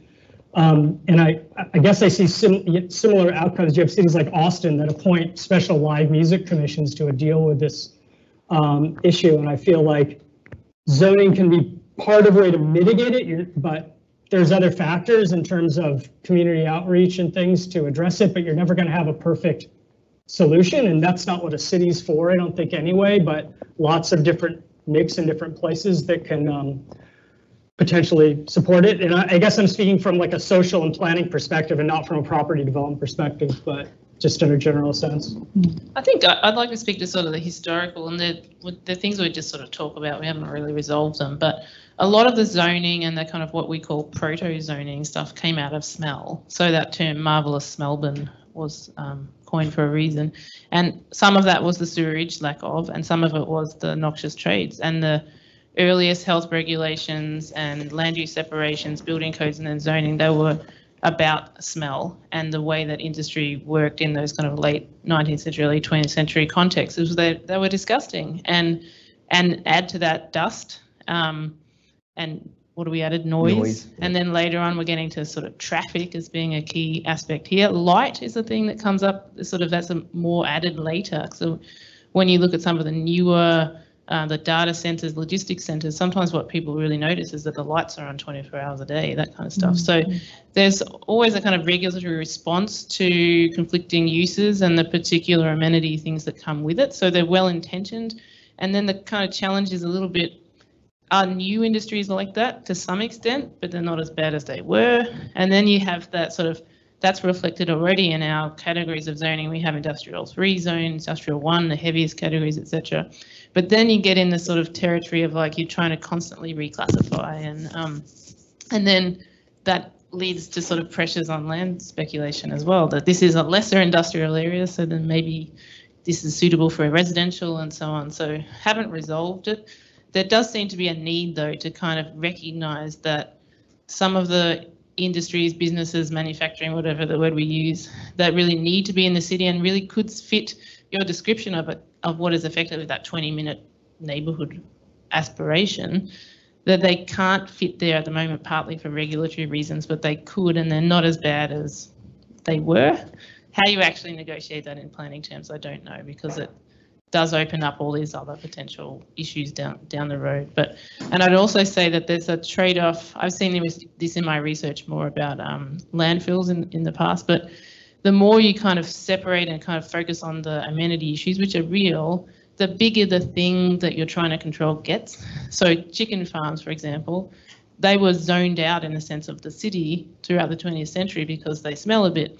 And so you went from having five chickens in the yard to uh, a hundred chicken factory that, oh, we don't want that here, that only belongs out there. And now you've got, so I'm looking at Andrew now, two million chickens in a monster factory farm that can't be within, you know, five kilometres of anything else because it's such a noxious use. So that there's that kind of scale thing comes out of that as well. I want Joe's comments on this though. 'cause Look, I'm- you- I was, I'm I was blabbing. going to come in, but you've covered everything that I thought, thought, thought to stay there. I guess it's the, it's the blunt, you know, making sure we don't just accept the lowest common denominator in policy because it's too hard otherwise. Because I think you, you know, your, your sort of statement nicely captured, as Liz said, this tension between the affordances of mix and the challenges of it. So it would be sad for us to say, well, it was, you know, ideas of separating mix that come from early 20th century when we did a very different landscape of industry, we're just going to stick with because noise, dust, light, etc., is to the detriment of a sustainable city, of livable city, of prosperous, you know, rich employment city, um, and we can do better at that. Big, big hand up over there. There's someone who's Uh, Peter, definitely. Yeah. Over to you. Uh, Peter Elliott, former state government. Um, so I've sort of worked in the industrial planning area for quite some time. And I think the work that, um, and this seminar is actually really um, uh, an important um, uh, way of thinking about industrial land because what I see is that there are many commonalities between cities and I see London as being where we will be in 25 years time. Um, once uh, we actually um, start to see greater development within metropolitan Melbourne as the growth areas start to, to um, slow down or start to diminish. Um, the wave of residential will, start to go into the inner part of Melbourne and the pressure on industrial land will increase. At the moment, we have incredible controls over industrial land, very different to London. Um, we have some really significant controls on most of our industrial land. Um, and so, but governments change very much like, you know, death and taxes, governments do change as well and they change their minds often quickly. Um, but one of the things that I was thinking about with um, London is um, there's what 8,000 hectares or 7,000 hectares of industrial land. What I'm thinking is, where is that land being substituted? Is it being substitute, substituted elsewhere? So more like the sort of like network economy. It's actually outside of London because London is so incredibly expensive. Um, whereas um, uh, you've actually got some some sort of uses in there that sort of need to be in there. And it's one of the things that um, me as a former policymaker, and there's probably some policymakers in the audience, that we have to re um, prosecute the case for industrial development and industrial land over and over again as it changes because it goes through fads, it goes through times when it's the most important thing in the world to when it's oh deindustrialization we get rid of it all um, so um, I think that's the, the re-prosecution but I'm interested in your comments about um, sort of networking uh, land Sh- Shall I respond? Um, so my answer to the, the, the substitution question is I don't think this is really being achieved at all. Um, it's an aspiration. Um, uh, the problem we have in London is, is the governance and the fact that, you know, the, the part of London that falls within the Greater London Authority boundary uh, that the Mayor of London has control over is not the functional economic area. Um, so the functional economic area extends, you know, far wider. Um, so the mayor does have a, a system of working with the home county local authorities around, but that's my understanding is that's quite fraught. Uh, lots of tensions there. Um, they don't want to be a dumping ground for all of London's industrial.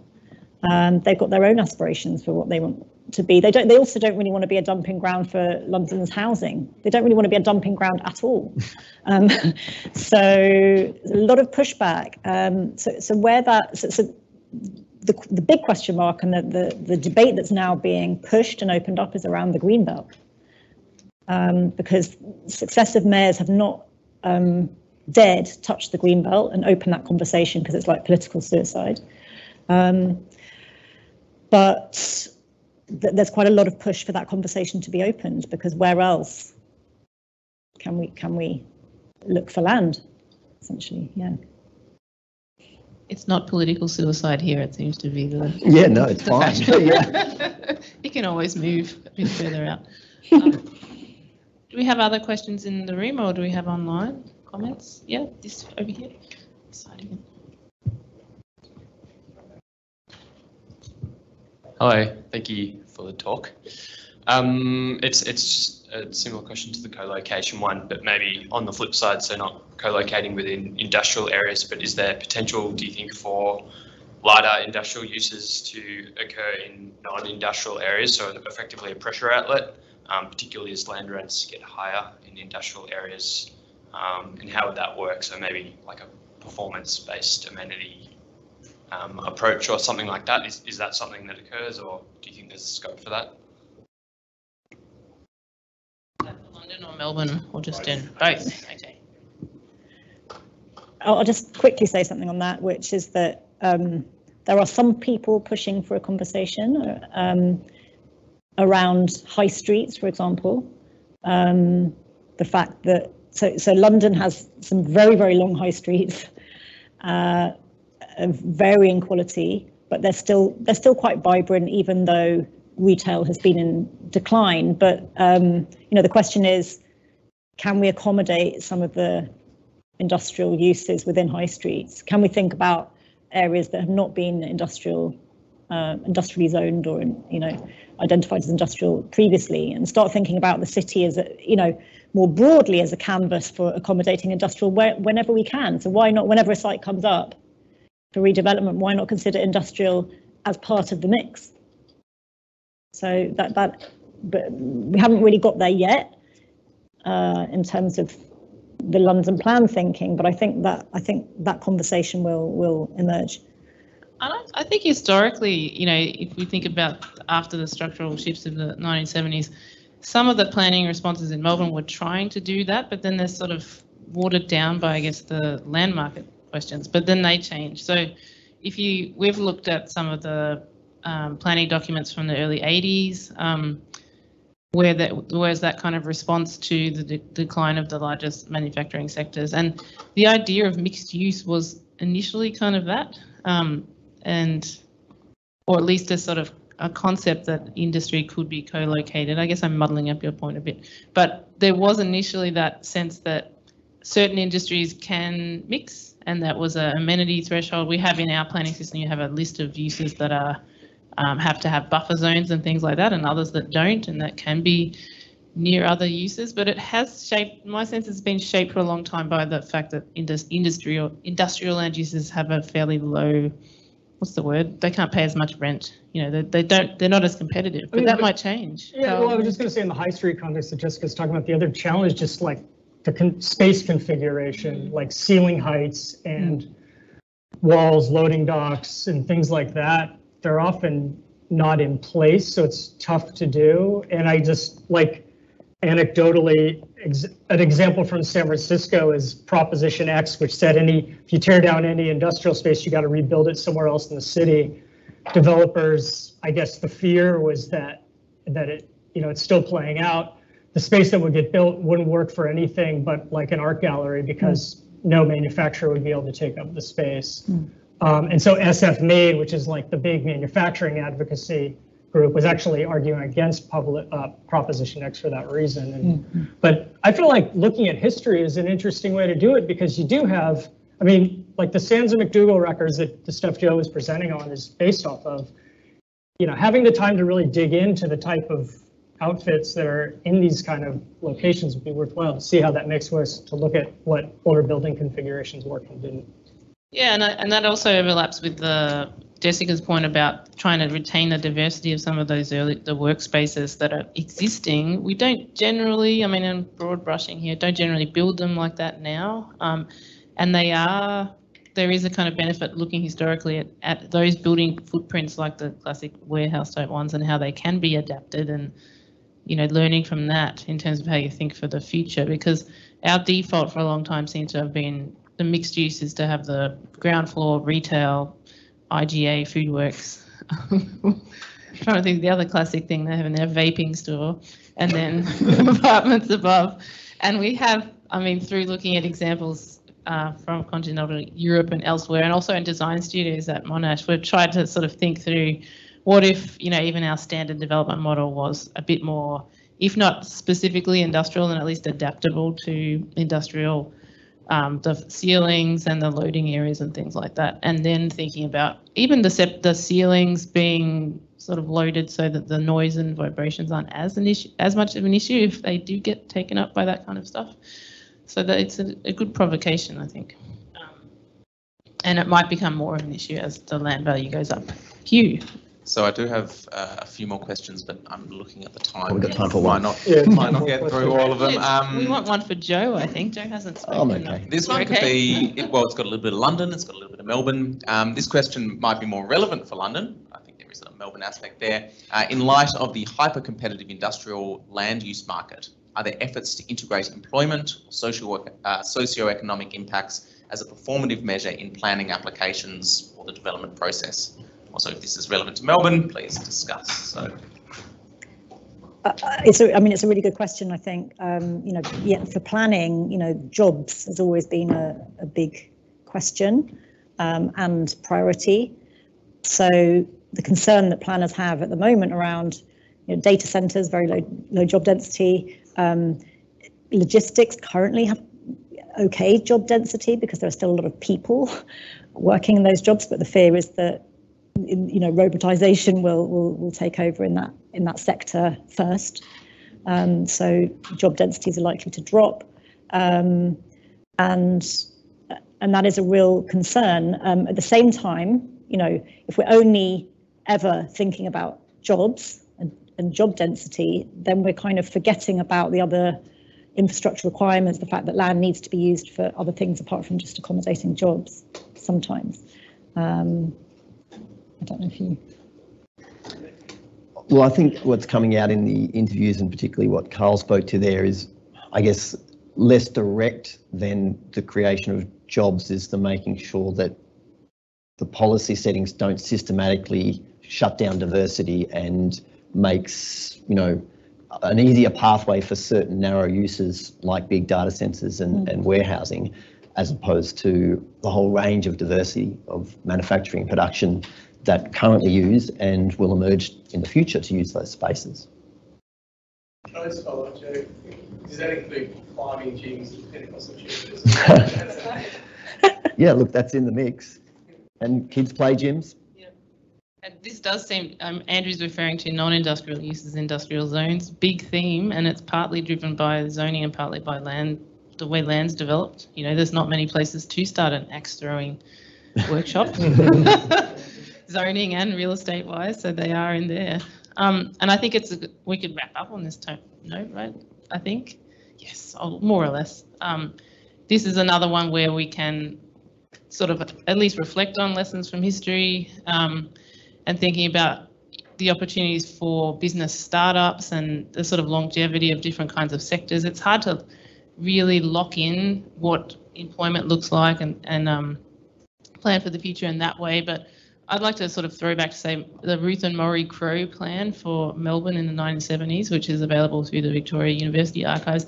And they were proposing pretty much what we're talking about now. So there's a lot of progressive ideas in the past about maintaining kind of flexible workspaces that are main, sort of more secure, ongoing employment that has equity as its core consideration, not just the the latest fad and, and the latest big speaker, which might be Amazon or whoever it is now. So how you actually translate that in uh, into practice is the challenge. And I felt like I had another.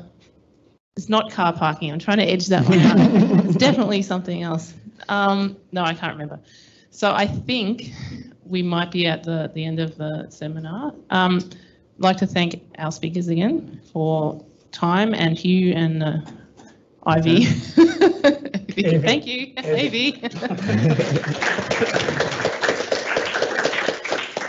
still can't chase that thought away. I had another comment. Um, but yeah, get in touch if you'd like to sort of let us know what we got wrong or right or what we should be looking at and what the latest uh, industrial conflicts are. Um, oh, sorry, that was my joke. It was going to be about jobs, jobs and growth. It's all about jobs and growth in Melbourne, but it's always the housing industry and construction. And apologies to the Suburban Rail Authority here. It's like we need to do this in part because it'll create jobs for like five years while we build all this stuff. So if we could kind of leverage that political and broader fascination with jobs and combine it with a more nuanced understanding of what employment looks like now, could look like, and what while we want to have it in our cities, not just in building houses, it would be the sort of, you know, Mark, you want to add? I was going to ask you to tell us about your music. Ah, oh, the music, yes, my favourite post uh, songs about factories closing down. I think Life in a Northern Town comes out on top, if those who haven't touched on it. Um, it's the film clip is actually it's somewhere in um, uh, northern um, New York State, I think, but it sort of seems to be referring to Manchester and others. But there's some, um, I think, in a way, I had a list here. Oh, yeah. For the pub, Yes. Well, music, I said, I'd come back to it. You know, music, because often music, the best music scenes come out of, have come out of, suddenly having um, not as many employment opportunities and a lot of space. That's what the research says. It's a, a terrible situation in a way, but you know, UB40 is, you know, unemployment benefit band. Um, or even the specials, ghost town. This town is coming like a ghost town, but that means they have there's a lot of places to have music venues, and this, of course, is the precursor to gentrification. A lot of times, Is that when you bring in the music, but rehearsal spaces, live music performances, and and Melbourne's kind of heyday of live music, so to speak, was during that period of um, scaling down of um, traditional employment, and a lot of the inner city was more um, storage, warehousing places, and that's where these venues were. And now, of course, the sort of pressure is on again, but it does sort of capture that um, sense of, uh, I guess, being caught up in change. This is, I think, the broader, you know, esoteric theme about planning for industry is that you're trying to make a place survive the the changing fortunes of the, the global economy, and that kind of experience of of music in cities captures people move there for a job, and the job, generally speaking, what it lasts 10 years, 20 years. I'm going to reference Billy Joel and lose all credibility, but Allentown, you know, he actually specifically wrote that song about steel towns in Pennsylvania and how people move there with a sense of op- optimism about having a job and a town that they believed in, and then the factories close and they move away. So that's yeah. If you're prepared to listen to Billy Joel, that's that's one to point to. Thank you, Liz. Any others? In parks? Yeah, I mean, oh, in drains, yes, that's another one.